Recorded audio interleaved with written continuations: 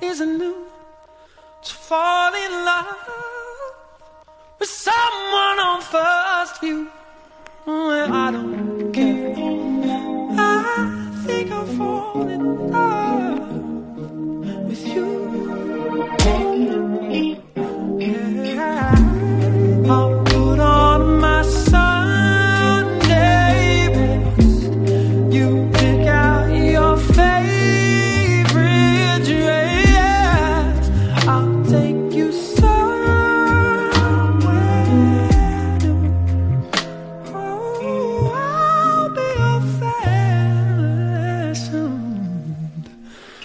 For you.